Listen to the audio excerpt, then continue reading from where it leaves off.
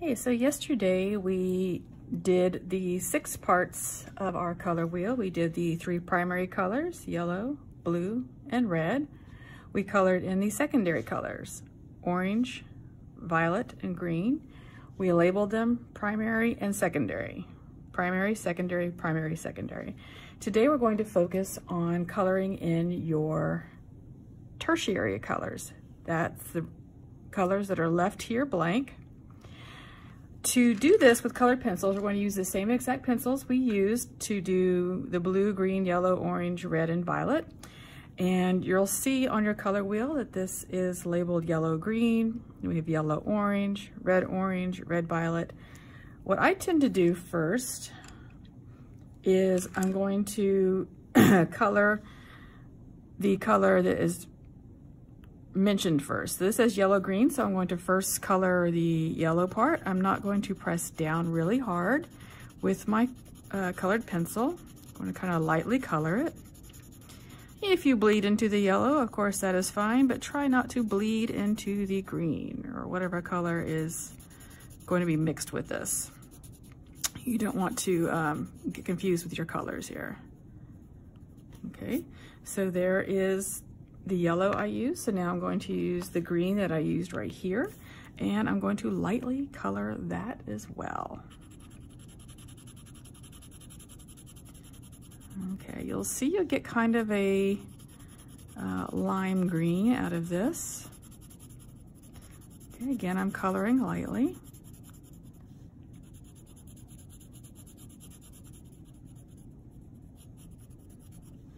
Okay, now on some of these, I do go over um, my second layer a little bit with my first layer. So I'm gonna take the yellow again and go over it again. Uh, giving it a little bit more pressure this time to the um, colored pencil because this should be kind of a, a lime green.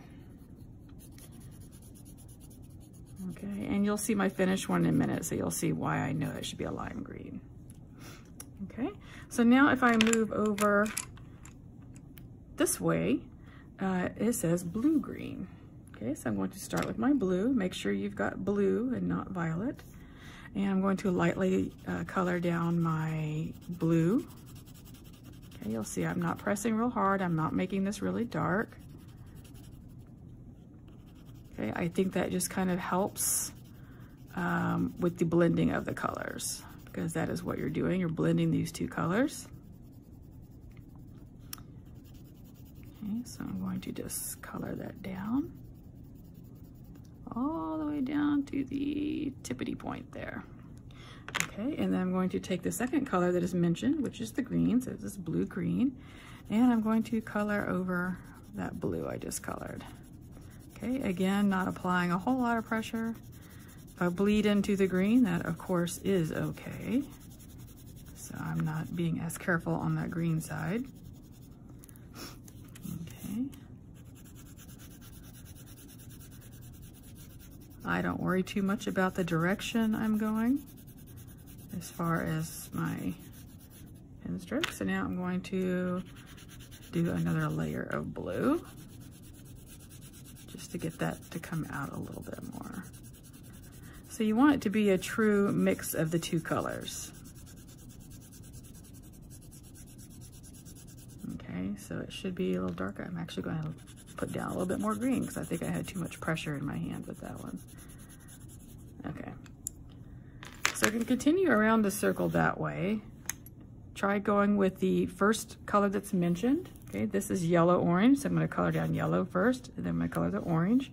This next one is red-orange. I'm gonna color that down.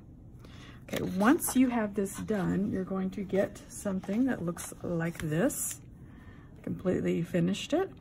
You're going to write the word tertiary. Okay, so let me bring that closer. Tertiary, T-E-R-T-I-A-R-Y, because those are all tertiary colors. And you want to continue around uh, labeling everything tertiary. Yesterday you should have labeled the primary and secondaries. I've not finished on this one yet, but everything else is going to be tertiary.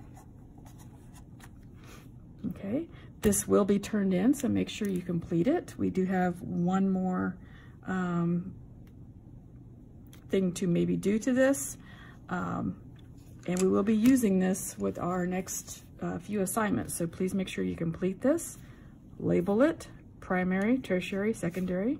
Make sure you've got all the colors.